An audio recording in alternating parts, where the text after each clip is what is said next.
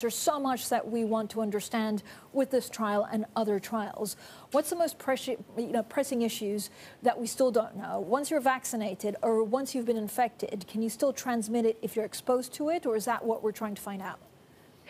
The key thing we're trying to understand in this study is what kind of immune response, what flavor of the immune response protects people against reinfection. We know that reinfection, once you've had COVID once, is unusual. It's not impossible. People are certainly reinfected again, but it's not very common.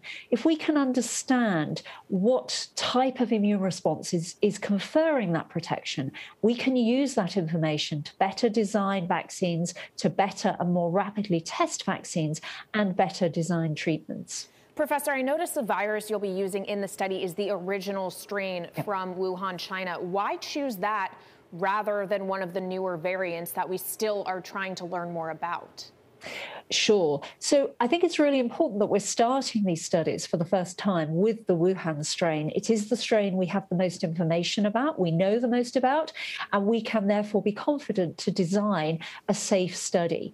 There are many discussions underway to think about whether in subsequent studies we could use a different variant uh, and one of the newer, more emerging variants. But I think to start with, we need to start with the strain we know the most about. Doctor, I had uh, you know Lyme disease many times as a kid, um, and at the time, since I'm so old, they just thought hit it with doxycycline and you're good. However, there are obviously lingering effects, um, really bad uh, lingering issues with that. Are we going to see the same with COVID, and will you understand more about it after this trial? So, this trial won't specifically look at long COVID, which is clearly a problem with some people who have COVID infection. We are confident that the risks of long COVID after this study are very small. We will be recruiting young, healthy volunteers who have had a very mild or even asymptomatic first infection and have no signs of long COVID after their first infection. It would be very unlikely that after the very low dose of virus we're going to be giving them, that they would have long term consequences in this study. Can, can, you understand through the study what it means for vaccines and whether we'll, you know, how often we'll need a, a, a vaccine renewal?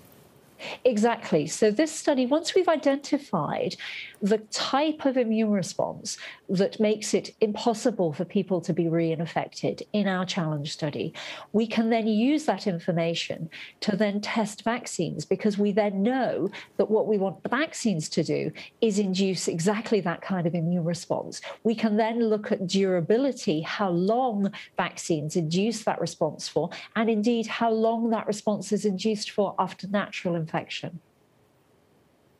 So is it likely that we then get a, a, a, one booster every year, maybe something that covers this as well as the flu and other issues? This information generated from this study will address exactly that kind of question. Yes, absolutely.